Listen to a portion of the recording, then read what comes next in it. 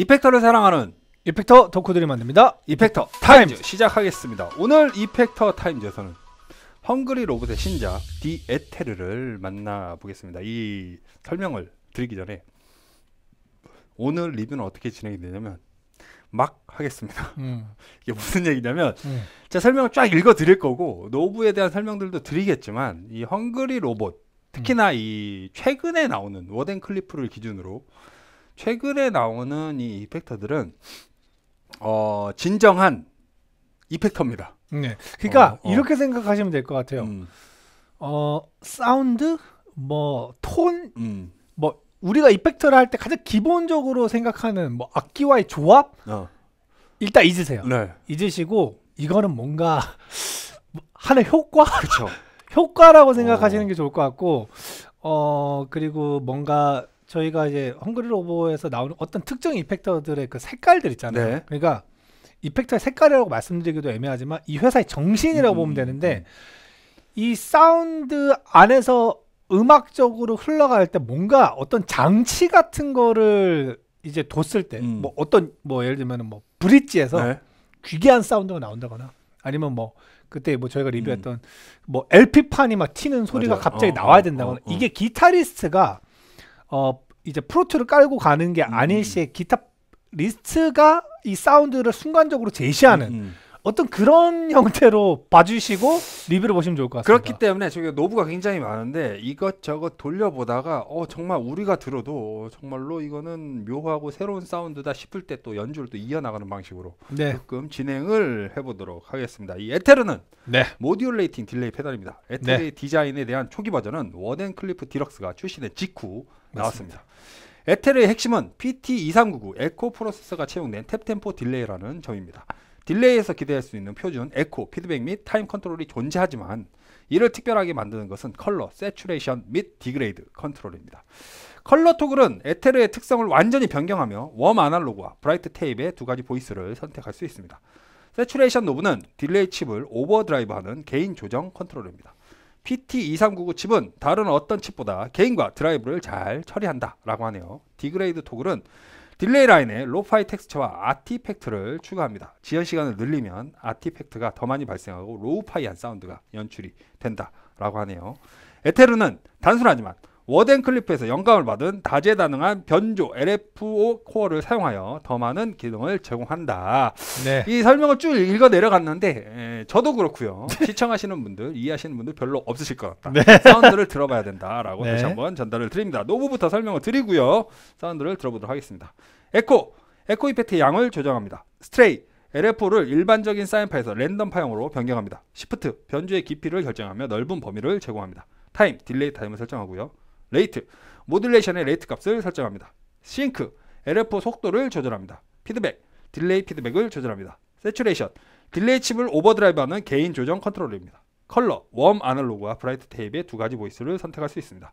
degrade, delay 라인의 lo-fi texture와 artifact를 추가한다. 네. 라고 하네요. 일단은 clean 사운드 먼저 들어볼게요. 네. 자, 아까 마이크를 타고 들어가는지 모르겠는데 눌렀을 때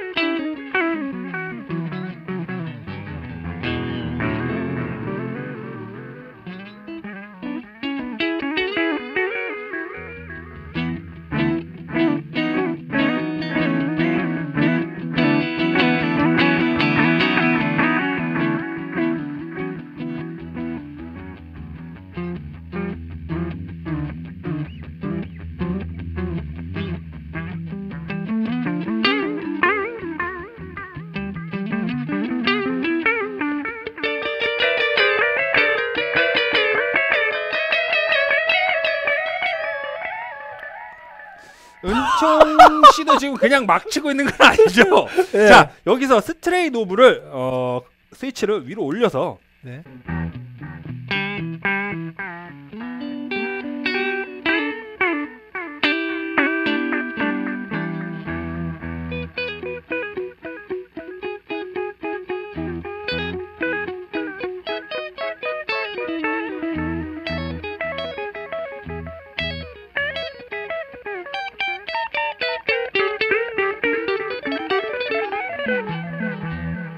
이게 어 여러분 이 꿈을 꾼다 맞아요. 아니면 어. 혹은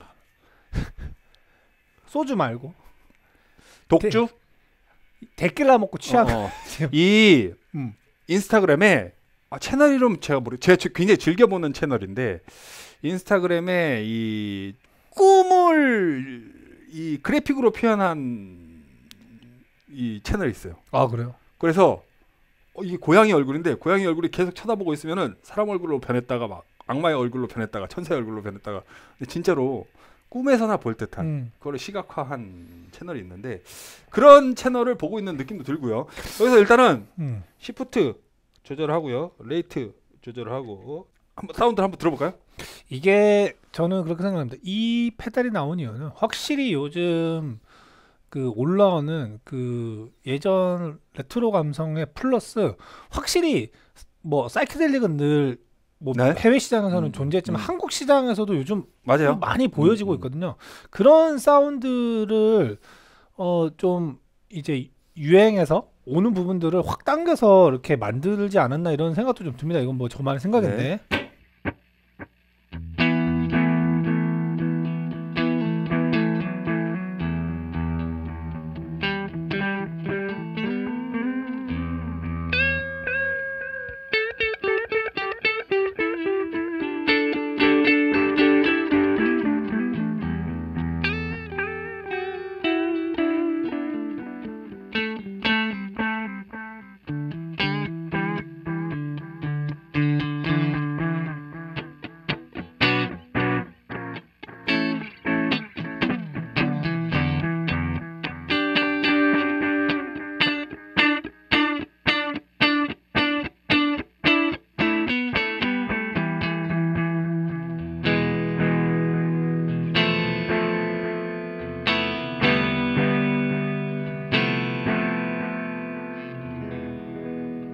아 이게 굉장히 몽환적이고 맞습니다.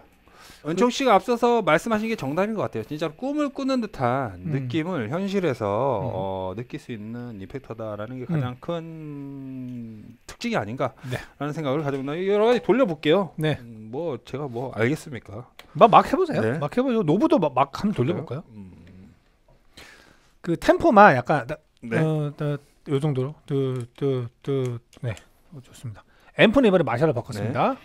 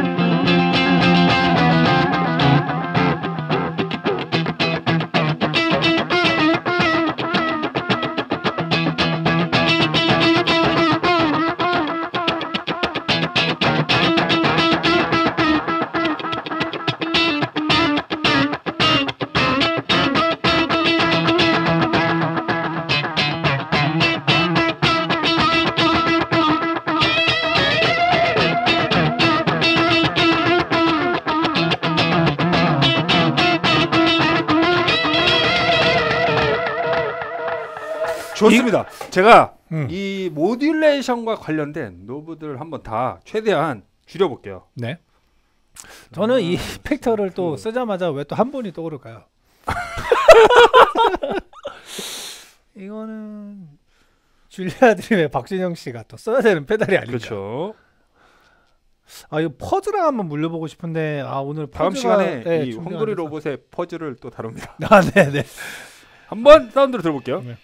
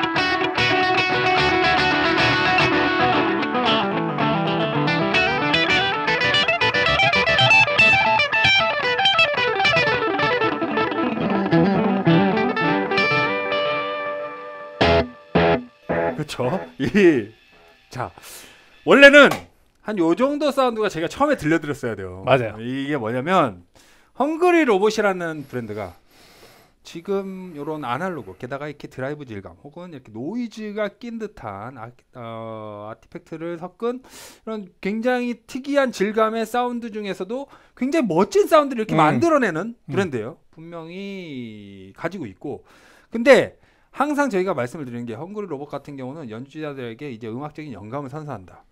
저희가 앞서서 아무것도 모르고 그냥 세팅해 놓은 상태로 사운드를 들었을 때 어, 정말 난감할 정도로 이걸 어떻게 다뤄? 음. 하는 정말 난생 처음 듣는 진짜 꿈에서나 들을 법한 사운드들도 만들어내잖아요. 그렇기 때문에 아날로그 페달임에도 불구하고 굉장히 다양한 공부는 아니고 탐험을 떠나야 되는 맞습니다. 페달이다라고 정리를 하고 싶습니다.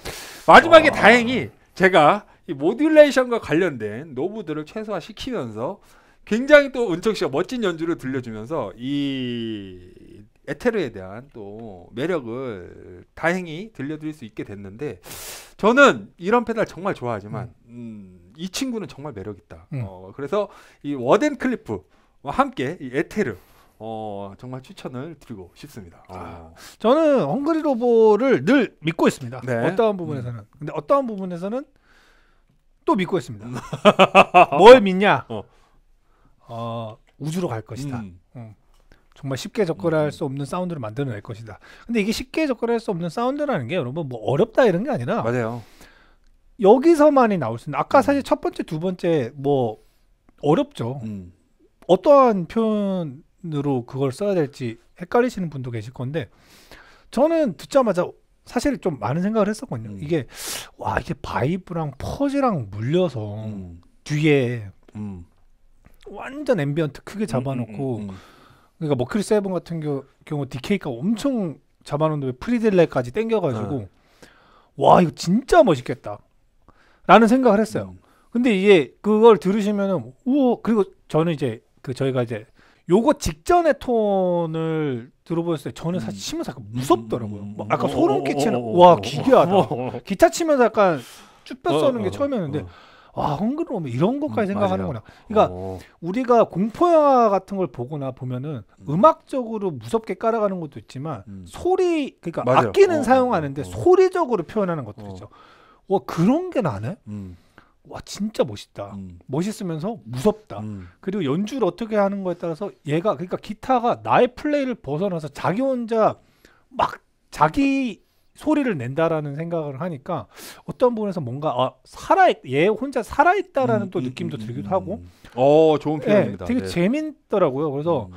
역시 한글 로봇이 또 음. 이번에도 뭐 재밌는 녀석을 만들어냈다. 그리고 마지막에 들어보시 알겠지만 소리 퀄리티 끝내줍니다. 음. 맞습니다. 여러분들 이 응답력이라든가 이 해상도 질감, 소리의 두통 이거는 예전부터 워낙 잘했었기 때문에 역시나 그냥 일반적인 공간계 페달의 사운드로서도 저는 굉장히 훌륭하다고 생각합니다. 그렇습니다. 모든 이펙터들이 다들 그렇지만 이 Hungry Robot의 이펙터는 이 이펙터 Times 15분의 어, 그 매력을 담기에는 너무나 많은 매력을 가지고 있다라는 걸 다시 한번 음. 느낀 시간이었습니다. 은총 씨 먼저 디에테르에 대한 한 줄 평 주신다면 네, 한 주면 드리겠습니다. 어, 꿈으로 가는 특급 열차 이렇게 드릴게요. 그 예전에 무, 무슨 이런, 이런 제목의 뭐가 있었던 것 같은데 음, 지금 음, 기억이 안 나네요. 음, 음. 그 뭐, 뭐 만화책 중에 예전에 뭐 환상 게임이라는 어. 저기 만화책도 있었고 약간 순정만 한데 그게 어. 막 근데 이렇다고 막 몽환적이나 이러지는 않은데 마치 애니메이션 중에 아키라라는 일본 굉장히 유명하죠. 되게 작품으로서 네. 그런 세기말적인 어떤 혼돈, 카오스 뭐 이런 느낌도 음, 들지만 그것보다도 뭐- 뭔가 그 사이키델릭 장르라고 해서 우리가 음악으로 듣는 혹은 뭐 거기 사이키델릭 이미지들 있잖아요. 저는 이걸 듣는데 그런 이미지들이 떠올랐어요. 음, 그림부터 맞아요. 먼저 떠올랐는데 뭐로써 요즘 사실 한국에서 뭐 뭐좀 약간 무거운 얘기 하, 음, 하지만 음. 사실 좀 안 좋은 약들이 들어와서 좀 네. 문제가 많이 음, 되고 음, 있습니다. 음, 음. 근데 이제 미국도 지금 난리잖아요. 네. 근데 이제 외국에서 옛날에 이제 뮤지션들이나라든가 아니면 혹은 뭐 일반 그런 그 그런 어떤 뭐 특정 그림을 보면서 네. 막뭐 이렇게 했다고 해요. 음, 그럼 그러면은 뭔가 그 효과가 막 이렇게 음, 음. 두 배로 된다고 하는데 음. 우리는 합법적으로 음악으로 즐깁시다. 근데 이게 뭔가 연주자로 하여금 어떤 그런 뭔가 환상적인 어떤 정말 몽환적인 그걸 좀 넘어서는 음. 어떠한 그런 이미지들을 어, 어 귀로 들려져서 음. 좀 시각화해 주는 듯한 느낌을 많이 받았어요. 되게 그래서 그런 부분에서 아 이게 참 헝그리 로보가 요즘 어떤 트렌드적인 것들을 음. 또좀 잘 캐치해내지 않았나라는 또 생각도 들고 이펙터의 어, 활용도 부분에서도 어떻게 누가 쓰는지에 따라서 확실하게 많은 거를 음, 어, 음. 할수 있겠다라는 좀 생각이 들었습니다. 그렇습니다. 저는 한 줄 평 이렇게 드리도록 하겠습니다. 눈 뜨고 꾸는 꿈 음, 음. 똑같습니다. 뭐 저랑 거의 비슷한 한 줄 평인데 실제로 저도 듣는 내내 뭔가 이 꿈을 꾸는 듯한 느낌을 음. 들었어요. 이게 단순히 그냥 몽환적인 느낌이 아니고요. 음. 그리고 이제 은초 씨가 앞서 뭐 우주로 간다 표현했는데 저는 우주라기보다는 이 꿈이란 말이 정말 음. 잘 어울리는 이펙터였다라는 생각이 듭니다. 굉장히 매력적인 이펙터였고요. 요런 이펙터 Wardenclyffe Deluxe라는 구입했다라는 분들은 음, 다시 한번 음, 흔들릴 수밖에 없는 멋진 이펙터였다라는 맞습니다. 생각이 듭니다. 점수 한번 줘보도록 할게요. 네.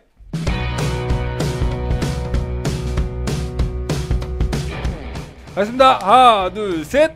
9.0, 9.0. 오, 저는 저만 제 취향을 반영해서 높게 줬나라고 걱정했는데 은철 씨도. 아닙니다. 어. 왜냐하면 기본적으로 탑재된 엔진 자체가 맞아요. 워낙 훌륭하기 맞습니다. 때문에 어. 여러분들 그거 아니어도 그냥 이 아날로그적인 이 사운드를 즐기시고 싶으신 분들은 아까 저희가 이제 제일 마지막에 맞아요. 들려준 음, 톤만으로도 음, 음. 이미 예를 들면은 그 우리가 존경해 마지않는 데이빗 길모 형님 맞아요, 같은. 사운드도 어, 충분히 어, 낼수 있어서 저는 뭐 그런 부분에서는 뭐 여러분들이 걱정하실 페달은 아니다. 근데 거기에 난 남들과 다를 거야. 음, 음. 하는 소스까지 얹어진 거기 때문에 그런 사운드 찾는 분 계시거든요. 그런 분들한테 또 좋은 선택지가 되지 않을까 싶습니다. 그렇습니다. 저희는 다음 음. 시간에도 또 다른 Hungry Robot의 이 신작을 가지고 찾아뵙겠다 약속드리고 이 시간 마무리 짓도록 하겠습니다. 이펙터를 사랑하는 이펙터 덕후들이 만듭니다. 이펙터, 이펙터 Times. 다음 시간에 뵙겠습니다. 감사합니다. 유튜브 구독과 좋아요는 우리에게 큰 힘이 됩니다.